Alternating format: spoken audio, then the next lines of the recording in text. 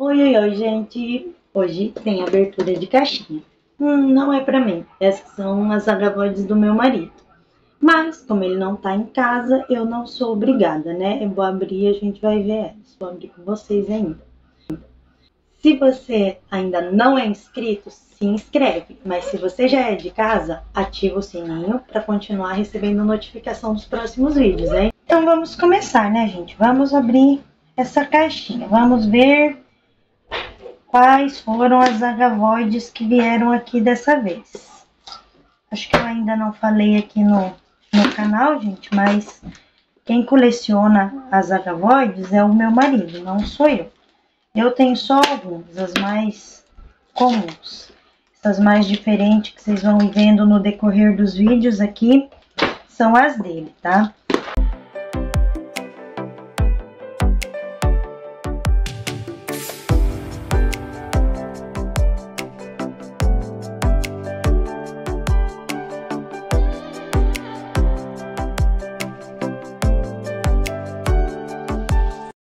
Gente, eu troquei de lugar, desci aqui com as plantas para mostrar para vocês, porque eu comecei a abrir lá em cima, mas percebi que estava ficando muito escuro.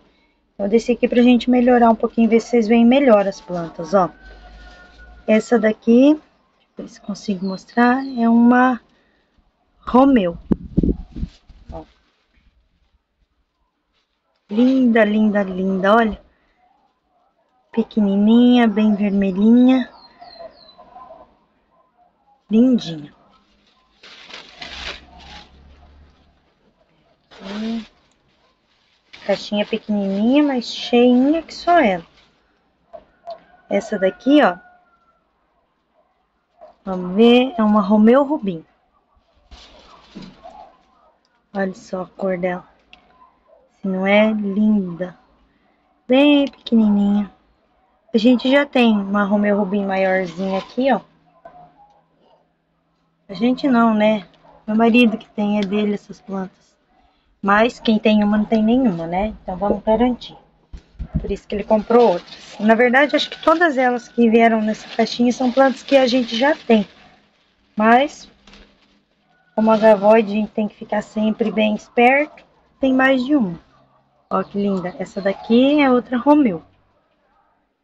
Bem vermelhinha também. Não sei se está aparecendo direito é linda. Uma Romeu. Quem é a próxima? Ah, essa daqui deve ser brinde, né? Pelo tamanhão dela. E é mesmo. Ai, tem um bebezinho. A Darth Vader.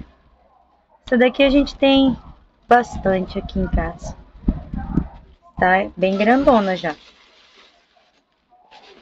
ver o que mais que temos aqui. Essa é bem pequenininha. Olha só o tamanho dela. Olha o tamanho, gente. Essa aqui é uma Bordeaux. Bem pequenininha. Tá aqui, ó. Uma Bordeaux. Vamos ver o que mais que veio. Red Leaf. Ó. Essa daqui também já tem. Acho que todas elas, na verdade, já tem aqui, gente. Red Leaf.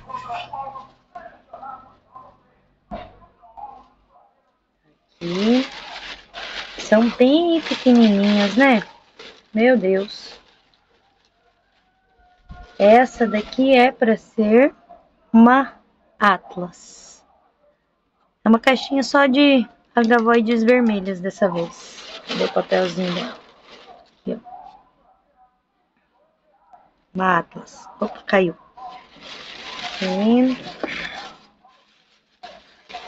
E mais uma Romeu Rubim.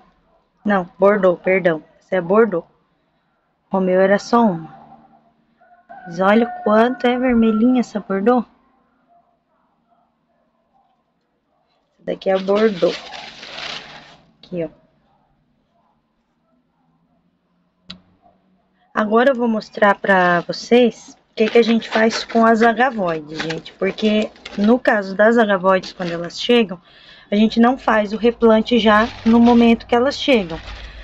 A gente vai deixar até amanhã hidratando numa misturinha de água com água oxigenada e só amanhã eu faço o replante delas. Mas eu vou fazer a misturinha ali com vocês para vocês verem como que a gente faz. É, ó, essa daqui que eu uso. Volume 10 é líquida, não aquela cremosa, hein, gente? Deus o livre. Duas colherzinhas de sopa para meio litro de água, só isso. Vou pegar esse aqui, ó. Vou mexer bem mexidinho. Aqui eu tenho esses copinhos, ó. Copinho tipo copinho de dose, de shot que a gente tem em casa. Coloco a aguinha neles. Essa mistura, né? E elas vão ficar aqui se hidratando até amanhã. Por que que a gente faz isso? Com outras plantas normalmente não. Ou eu corto, já faço a poda quando chega, ou só replanto. Mas as agavoides a gente não gosta de molhar elas, de fazer a rega, já quando elas chegam. Então a gente prefere fazer dessa maneira. Deixar hidratando para ela conseguir se renovar um pouquinho. Ó, elas chegam bem saudáveis. As agavoides sentem muito pouco que fizeram essa viagem. Ó, tava dentro de uma caixa, não estiola nada elas simplesmente não sentem. É um tipo de planta muito resistente à falta de água, sabe? Então, ó, o que que eu vou fazer? Arrumo essa raizinha aqui, ó, pra ficar na água. Essa é a Romeu. Aqui é outra Romeu, essa tem um pouquinho mais de raiz, a gente já sabe que as agavoides têm pouquinhas raízes mesmo, né? Mas, ó, não tem folhinha com fungo, só a primeira voltinha de baixo é que tá desidratadinha. Folhas secas, que a gente vai retirar só na hora que for plantar, né? Ó, essa Romeu Rubim, coloca de forma que fique ali na água. Essa daqui é a Atlas, olha só. Olha, é impressionante o quanto são resistentes, elas não sentem nada. Nadinha, não tem nem sinal de estiolamento. Então, ó, ela vai arrumar a raizinha. Faltou dois pequenininhos, mas é que essas aqui estão muito pequenininhas, essas duas Bordeaux. Não sei, vou ver, estudar aqui como que eu vou fazer para deixar elas se hidratando. Então, elas a gente vai aguardar. Essas outras, ó, vão ficar aqui nesse copinhos até amanhã. Daí amanhã eu faço um replante normal. Bom, esse foi o vídeo, pessoal. Espero que vocês tenham gostado. Se tiver alguma dúvida de mais alguma coisa a respeito de como eu faço quando chegam as caixinhas aqui, pode deixar nos comentários. Vai ser um prazer responder a vocês.